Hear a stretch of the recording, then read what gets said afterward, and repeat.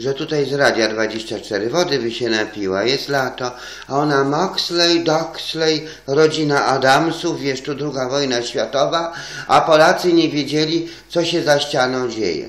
Polacy nie wiedzieli, że Niemcy się zbroją. No to ja przepraszam bardzo, napij się wody, bądź mądrzejsza.